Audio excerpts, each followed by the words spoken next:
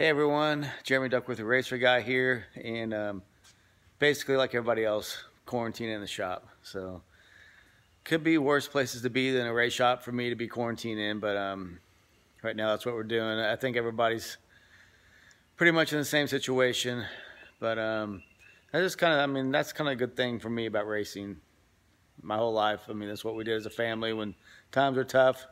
Could always still kind of go to the shop and you know, work. You can work with your friends and family, people you love, and still be around them. So it's kind of what we're doing now, trying to get through this. But um, one thing we did do is we, um, you know, we're going outlaw kart racing, RFC. We're getting some new, some new karts with RFC, the wing karts and flat karts. And you can see right here behind me.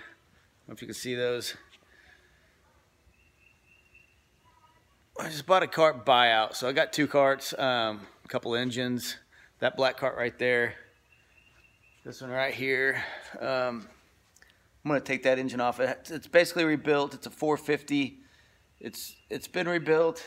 It's it looks it's supposed to be a good engine. So I'm gonna put that on. That's what I'm gonna race. The other kart over here's got a 500 Polaris on it. Um, so this one here, this one's race ready. We could actually do laps in it right now, which would be fun. Um, I like to just get in there and rip some laps but it's got a 500 Polaris, so it's gonna be a backup. We got some spare parts, but I don't know anything about these outlaw cars. I've never turned a lap in them or anything, so I'm learning. But I figure that's probably one of the best ways. Jason and I, we we found these these karts, and um, thought that's probably a good way to get some parts, get some tires, um, just kind of see how everything's hooked up in them.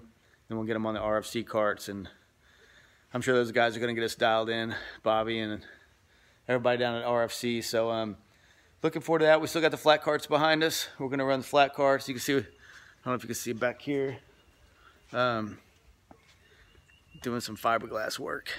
So, if you saw the last video, I destroyed basically the body. And you can't get parts right now. Um, I mean, you can get them, but it's hard. Unless people got them, there's just nothing really being made. Um, everybody's kind of struggling, so just have to kind of rework what you got and get it going. But I think we're all hoping that this, you know, coronavirus thing ends pretty soon and we can get back to the track, get back to, you know, life as normal, normal as can be. And um, we still got Riley in the hospital.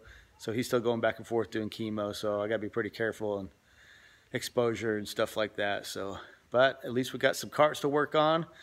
Um, you can see, I mean, the time, we, we, can use the time.